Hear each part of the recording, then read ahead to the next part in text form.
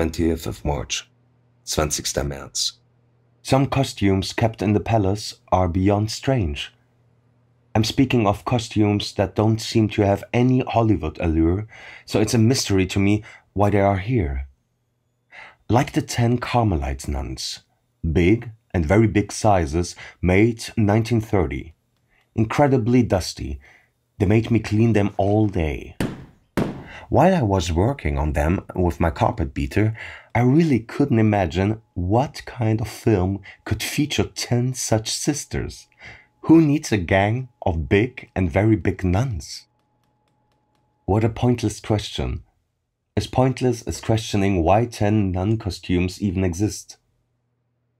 There are unemployed people, so there must of course also be unemployed things, and even an underclass and in the palace, this underclass of wretched rags just hangs there.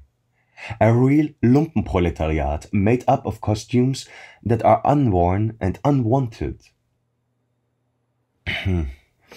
what poor, unfortunate items. There's no reason to believe that being unwanted should end their existence. For if lack of meaning would ruin their right to exist, this ruin would have happened long ago. In fact, I believe that once registered in this place, there is no escape. Such is the iron law of the costume palace.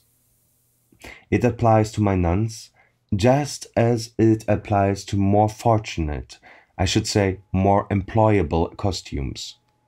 They will have to stay here for all eternity, if one is allowed to use that phrase. The ten nuns can only go the way of all cloth when ten brand new costumes are supplied to exist in their place.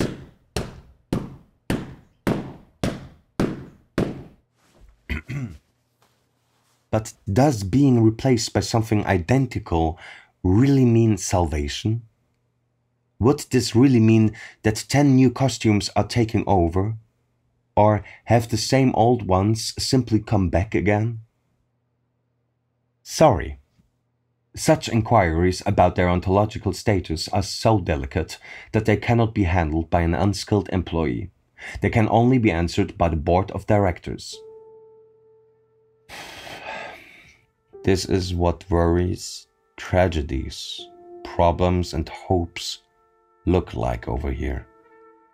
While thousands upon thousands are slaughtering each other across the ocean distant but real.